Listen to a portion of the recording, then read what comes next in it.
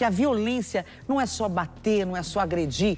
Aquilo que vai fazendo ao longo dos anos ou dos dias com uma mulher a destrói também. A destrói e essa machuca tanto quanto a violência física. Só que, infelizmente, muitos dos agressores não acreditam que essa violência psicológica seja um crime. Pois bem, agora é crime sim. Doutora está aqui ao meu lado, delegado, a delegada, procuradora, estou aqui acostumado com tantas, dela é defensora, estou acostumado com tantas delegadas.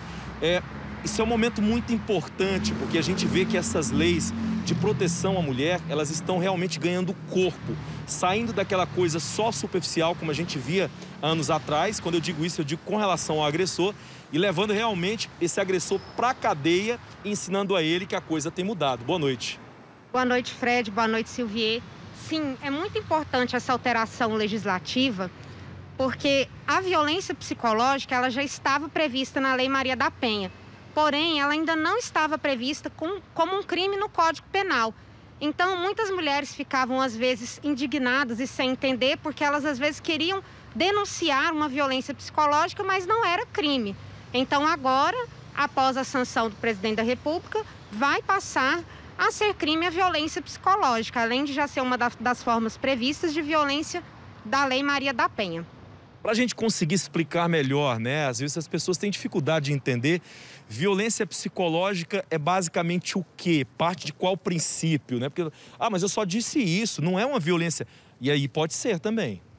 Exatamente. A violência psicológica é um dos cinco tipos de violência previstos na Lei Maria da Penha. E ela consiste em qualquer conduta que cause um dano emocional à mulher, mediante é, chantagem, insulto, humilhação. Então, às vezes, até aquela piadinha boba que a gente acha, nossa, foi uma brincadeirinha, né? Essa brincadeira de mau gosto, que só tem graça para a pessoa que brincou, ela é um tipo de violência psicológica. Então, às vezes, as pessoas acham que não é uma violência e é sim. Nós não estamos falando somente do parceiro.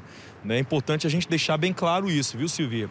Nós estamos falando de forma geral. Essa violência, ela pode inclusive vir também de outra mulher, não é isso? Sim, com certeza. A Lei Maria da Penha, quando a gente está falando só do contexto da Lei Maria da Penha, ela aplica-se a pessoas que conviveram também em relação íntima de afeto, a pessoas que já tiveram esses relacionamentos anteriores, né? Podendo ser é, relacionamento homoafetivo, relacionamento hétero, pais e filhas, né? É, enfim, qualquer pessoa que tenha convivido. Mas a gente falando dessa alteração legislativa do Código Penal, aí não necessariamente né, vai precisar ser a mulher. Quando isso começa a valer de fato? Bom, o projeto de lei ele foi aprovado pelo Senado e agora seguiu para a sanção presidencial. Essa sanção presidencial ela deve ocorrer em 15 dias e caso o presidente não assine essa sanção, considera a lei tacitamente aprovada.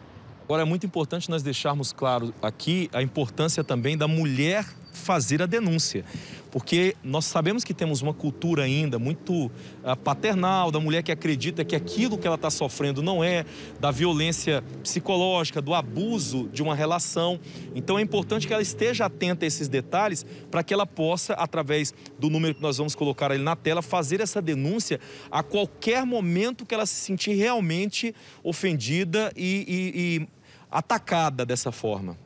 Sim, com certeza. É muito importante que a mulher ela busque ajuda, até mesmo antes de formular essa denúncia formal perante a delegacia de polícia. Ela pode denunciar nesse número no Disque 180, procurando todos os órgãos de proteção da rede e a Defensoria Pública também no nosso WhatsApp do Núcleo de Defesa da Mulher, que é o 98307 0250. Porque a gente tem às vezes a cultura de achar que a mulher ela tem que somente procurar ajuda é, da polícia em último caso. Mas não, o que nós queremos é incentivar essas mulheres a buscar informação. Está achando que está, está, está sofrendo um tipo de violência?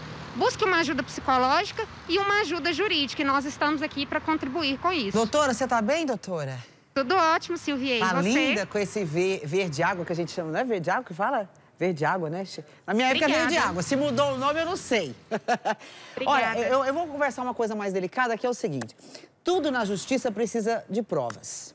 Se eu vou denunciar uma pessoa sobre é, agressão psicológica, de que forma essa mulher vai conseguir trazer uma prova contra esse agressor? Ela tem que gravar áudios, ela tem que fazer vídeos. E aí isso é perigoso, porque se ela tenta pegar um flagrante, ela pode até ser morta, ser machucada fisicamente. Então, de que forma a mulher pode trabalhar para ela levar ali o negócio a sério mesmo? Bom, Silvia, o que nós orientamos a todas as mulheres que nós atendemos é que guardem os prints das conversas de WhatsApp, porque normalmente elas são essas ameaças, essas violências psicológicas são feitas pelo WhatsApp também.